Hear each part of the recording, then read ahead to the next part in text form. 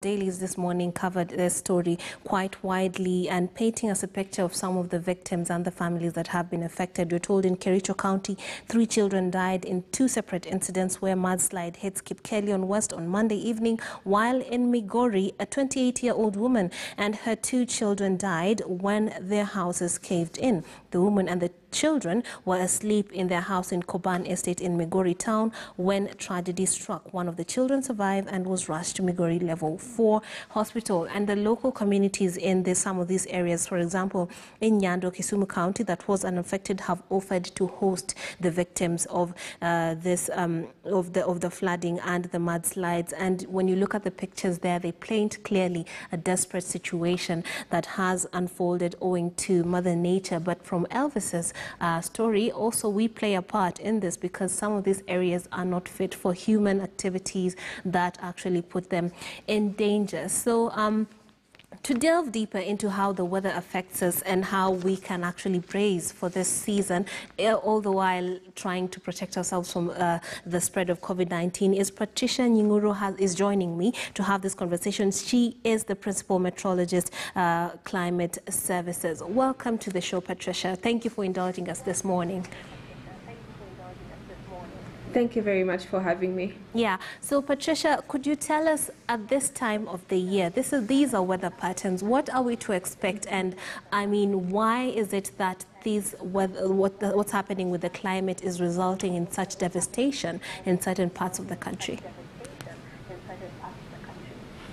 Well, we are in the peak of the March to May rainfall season. Yes. And when we issued the forecast for April, Mm-hmm. we indicated that most parts of the country were expected to receive above average rainfall. Yes. Okay, so right now Yeah. there seems to be, uh, while the disaster, there is the above average rainfall, but then it is being coupled by some other elements. Could you tell us, for example, in Elgeyo Marakwet and in the escarpment, what is it about this area that makes, coupled with the above average rainfall, that makes it quite dangerous and resulting in the loss of lives?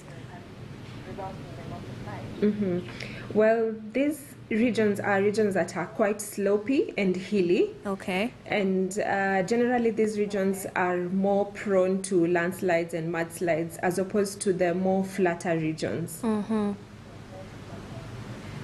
Yeah, so when we have a lot of rainfall like we had expected and we had issued an advisory about, mm-hmm. We have a couple of days of high rainfall amounts and then the earth gets saturated and then the soils can no longer hold the amount of water that is in it and therefore that is why we see the land shifting and we have landslides and mudslides. Okay, and what I can see also flooding, and you know, some of the people are being caught up in that. But the question would be isn't there a warning system? Um, while we, the, the announcement is being made by the, uh, your department, when it comes to the common mwananchi at the grassroots level, for example, the mother who was asleep, they basically don't get or do even if they get that information through the media they don't really understand what it means and what danger that increased rainfall poses for them so how come you don't find this information trickling down to the grassroots Actually, it does trickle down Yeah. because um, we have um, county directors of meteorology in all the counties. Mm-hmm. And for example, in the West Pokot region, the county director for Lodwar County got Right. this information mm. and then he downscaled it. And then he was able to disseminate it using local media in the local language. okay So yeah, so people are able to get the uh, warning that there would be heavy rainfall. Mm-hmm. But the, the challenge is m- most likely most of them do not know how to react or what to do in view of the rainfall that is expected, mm. and that is where I feel complementarity between different government services can mm. be put in place to be able to safeguard lives. Okay, and particularly in West Pokot, this is not the first time this year that we are having a disaster of that nature. We had one a few months ago of similar nature, mudslides, and they're taking taking lives and people are displaced. What is it about these areas that it, what is the economic activity, if I if I may ask, that would um, place these people in a in a situation where they feel that they need to stay in these areas, but at the same time, when the downpour downpour comes in, it really puts their lives in danger. I think a lot of these uh, people who live in these regions live in ancestral land. So Okay. they live on land that has been passed down from generation to generation. And so it becomes a bit difficult for them to move and go to different regions. And also, um, in the report that your journalist had given, um, he said there's a lot of farming that is going on, which is quite true. Yes. And most people farm on the slopes of the of the mountains. So this kind of uh, weakens or um, undermines the integrity of the soil within those slopy regions because they cut down trees to be able to farm, and the roots of the trees are the ones that hold the soil firmly together. So Yeah. when there is no that hold or the roots are no longer there, when a lot of water comes, such as what we witnessed from the heavy rainfall, then the landslides occur. Okay, is there a way that they could have their cake and eat it? Is, uh, maybe you know of places in the world where they have put in measures whereby they can still stay on the mountain sides, do their farming, but at the same time implement solutions that make it so that they can actually survive when the weather changes or takes such uh, drastic turns and not cost them their lives.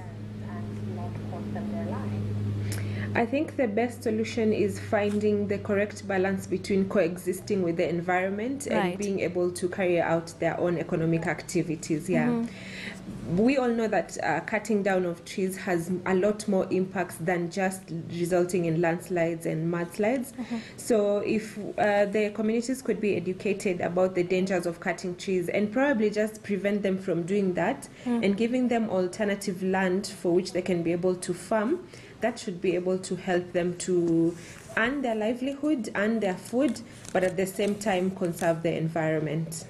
Okay, the uh, I, I was reading an article a few days ago about how this, if you take a look at the past few decades, the number of people that have been lost is um, could uh, actually be upwards of 500, owing to weather and climate changes or certain patterns that we are not really shifting to adopt to. I mean. Does that doesn't that open a conversation between the meteorological m- uh, department and the government on better ways of handling? I mean, you can do more than just give the alerts, right? Perhaps advice, perhaps um, uh, open up a conversation that will elicit change in how we handle this type of thing instead of just every year seeing, you know, people losing their lives. Yeah, you're actually very right. Um, in the most more recent years, we are seeing more erratic weather patterns. We have heavier rainfall. We have uh, we have droughts happening uh, more frequently, and this is because of the changing climate, which is happening globally. And it's Yeah. a discussion that is already being had at both national level and even international levels. So when we issue advisories, we do not just issue them to the public only. We also issue them to pertinent ministry line ministries. For example, the National uh, Disaster Operations Center, they are on our mailing list. The Red Cross, all these ministries that can be able to use the information that we provide to be able to safeguard lives, because that is our main mandate: providing early warning to be Right. able to safeguard lives and to protect property. Okay, and perhaps could you mention some of the studies from other parts of the world that have been able to handle this type of thing uh, adequately that we could actually borrow from and ensure that our people are not suffering the way they are right now?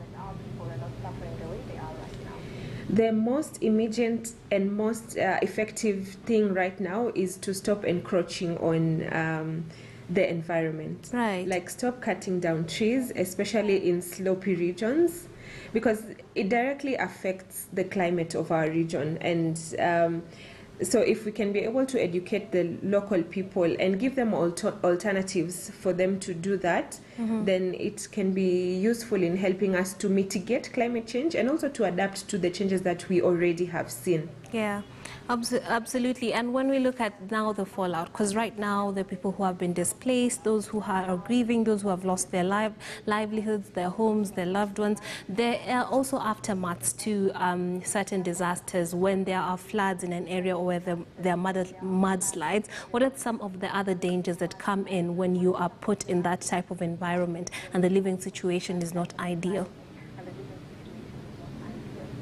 Well, um, generally, when we have a lot of flooding, we have stagnant water that stays in a, in a place for a long period of time. This gives rise to diseases like waterborne diseases.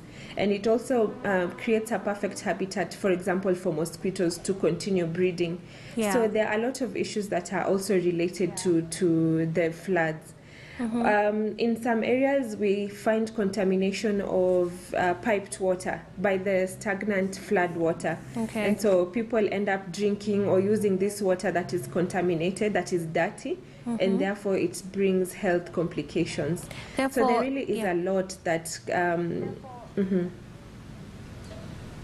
No, go on. It's okay. It's okay. Oh yeah. So I was saying there's really a lot that can we can lose from not paying attention to these advisories and not safeguarding our own lives. So for me, the key would be when we issue the advisory and we disseminate it as widely as we can, especially to the government ministries, Right. that people should be able to put their lives, or, or rather to value their lives more than their livelihood. hmm So, how would you advise coping after, if that is within your expertise? How would you advise local governments to, to help people cope with this particular possible eventualities of disease and all the things that you have mentioned? Like right now, when we issue the advisories, we are really putting emphasis on moving from the regions that still are prone to landslides. Okay. We issued an advisory on Monday mm-hmm. that goes all the way up to 25th, and we still are expecting heavy rainfall in those regions as well as parts of the coastal region of the country. Yeah. Right. So if people can be evacuated, of course, with the help of the government, that would go a long way in safeguarding their lives. Yeah, and our conversation has really centered on West Pokot and Elgeyo Marakwet, but then there's the lake side that's also experiencing this type of um, uh, eventualities, flooding, and of course people being displaced. What is it about the lake side, and what would you say to the locals there about how they should act right now in lieu of the increased rainfall right now? So most of the lake region or the Lake Victoria region is generally flat ground. Yes. And so when we have a lot of rainfall, we have consecutive days of rainfall, then we have water um, being collected in one place. Yeah. And for many years, we have heard of the Budalangi region having a lot of flooding. But nowadays, we don't really hear of them uh, being in crisis because they put uh, measures to be able to cope with that. Mm, uh, flood protection is one of the things that they put in place. Yes.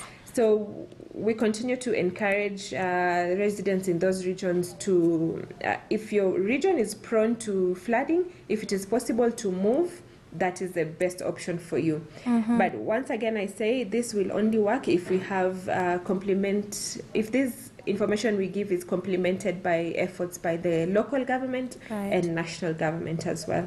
Yes, wonderful. But then there's also the danger of flash floods. Tell us about that because these do not come with warnings. Actually, they happen way off in other areas that haven't even experienced the rains. What are some of the areas that should be on the lookout for that and what must they do? So all the regions along the Tana River are also at risk of flooding because we have um, upstream rainfall. Uh-huh. And like you had mentioned, when it when flash floods happen, it's not that it had necessarily rained in those regions. So it rains upstream, and then the water flows down and becomes a flash flood. So. Um, along Tana River, we would also like to advise people to move. If you see fast moving waters, it is safer to move away from them to avoid wading through those waters Right. and stay safe until the flood waters have passed. Okay, and perhaps if we are going to paint a picture of the hotspots right now during this rainy seasons, what would your what would your antenna be very focused on in the country right now?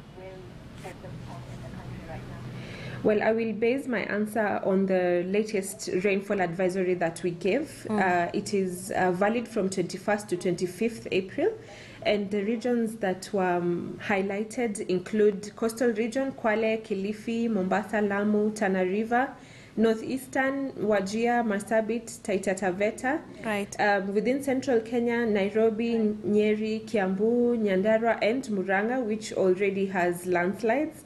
Within western Kenya, we had Busia, Kisii, Nyamira, Kericho, Narok, Migori, and also of um, Kisumu, Bungoma, Homa Bay, Kakamega, and Nakuru. So generally, most parts of the country are receiving heavy rainfall Yes. because we're in the peak of the rainfall season. April is actually the peak of Yeah. the rainfall season.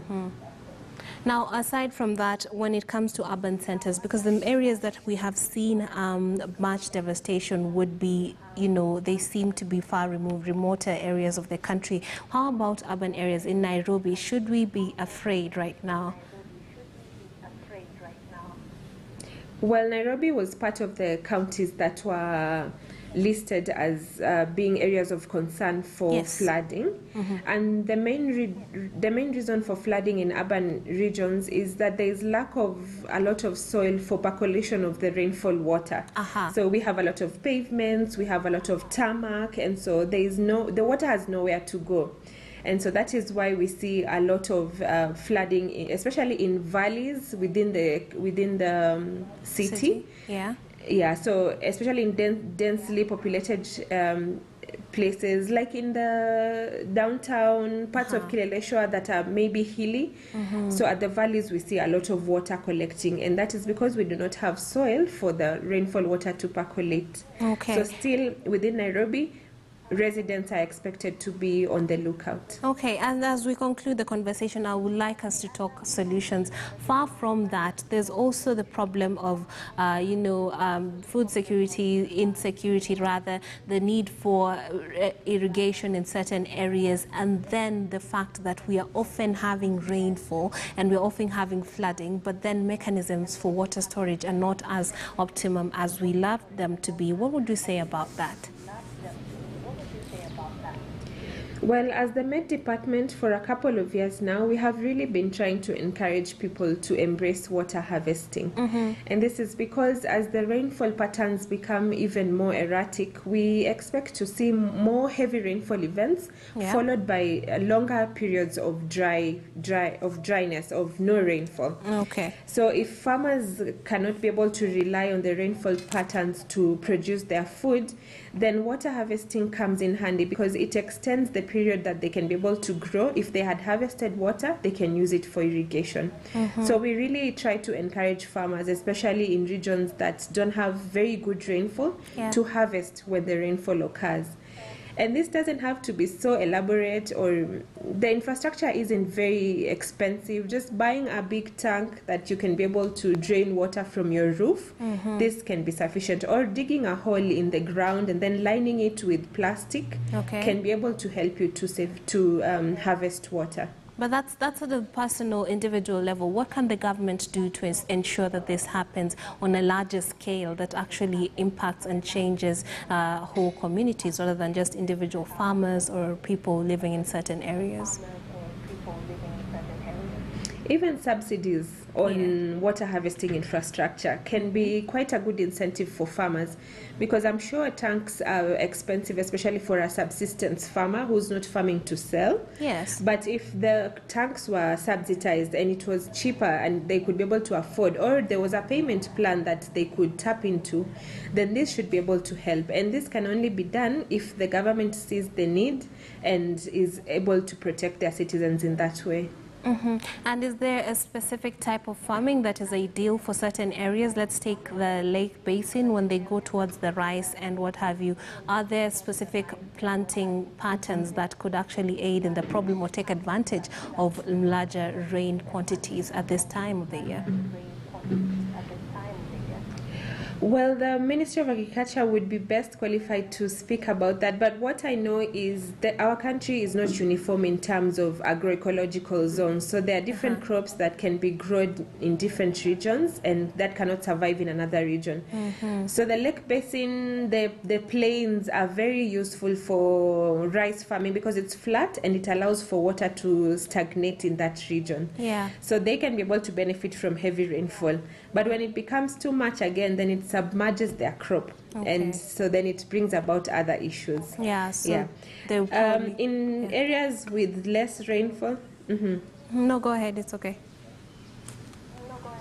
Yeah, I was saying in areas with uh, less rainfall, we try to encourage farmers also to work with the local agricultural people to enable them to choose crops or to choose seed species that um, do not need a lot of rainfall to be able to survive the entire season. And if they cannot do that, then water harvesting is their next best option. Okay. And now, would you? I mean, as we're finishing off, would you say that it's uh, this is going to be happening for a while now? The, the devastation that we're seeing, people trying to flow to their animals. I mean, what would you say the, in terms of timelines? What would you say uh, we should be looking forward to in the next few weeks?